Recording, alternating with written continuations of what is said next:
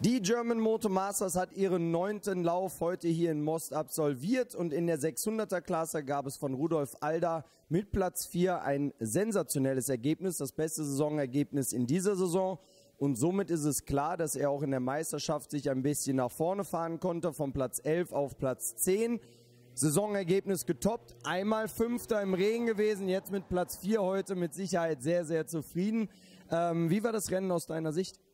Ja, für mich ist dann natürlich perfekt gelaufen. Äh, Start hat gut funktioniert, konnte mich dann an der Führungstruppe so ein bisschen festhalten, sag ich mal, so zwei, drei Runden. Dann sind die natürlich irgendwann weggefahren, logisch, aber habe dann noch mit meinem Kollegen Simon Kostas gut gekämpft und konnte mich nachher im Endeffekt durchsetzen. Und dass ich Vierter geworden bin, hatte ich äh, im Rennen noch nicht mitbekommen, erst danach. Ich wusste, es ist gut, aber war natürlich super. Ne? Es war von außen sehr, sehr schön zu sehen, weil auch die Zweikämpfe gut waren, sehr konstante Runde, bis auch Top-Rundenzeiten gefahren. Woher kam jetzt der Sprung auch in dieser, ich sag mal, im Endergebnis des heutigen Rennens? Kannst du dir das erklären oder war es jetzt einfach so, dass es perfekt an diesem Tag funktioniert hat?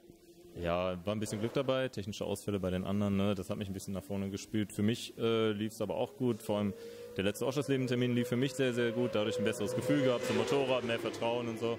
Und äh, ja, die Gesamtsituation passt einfach für dieses Rennen. Dann kannst du eigentlich positiv nach vorne blicken. Oschersleben hast du gerade schon angesprochen, zehnter Lauf und damit auch Finale.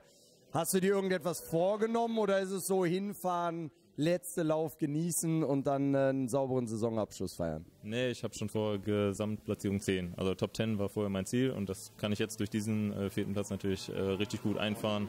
Ja, das wäre das wär richtig klasse. Dann würde ich sagen, drücken wir dir genau dabei die Daumen, werden es natürlich wieder in Oschersleben mitverfolgen, wünschen dir erstmal eine gute Heimreise und danke fürs Rennwochenende. Danke, danke.